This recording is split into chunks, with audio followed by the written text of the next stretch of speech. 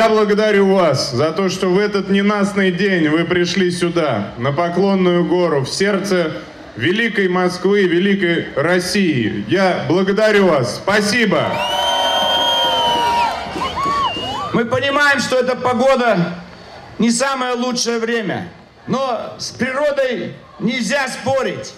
И сегодня и вчера в Москве штормовое, штормовая погода. Плохая, но мы не можем на нее обижаться. Пусть вас согревает чувство солидарности.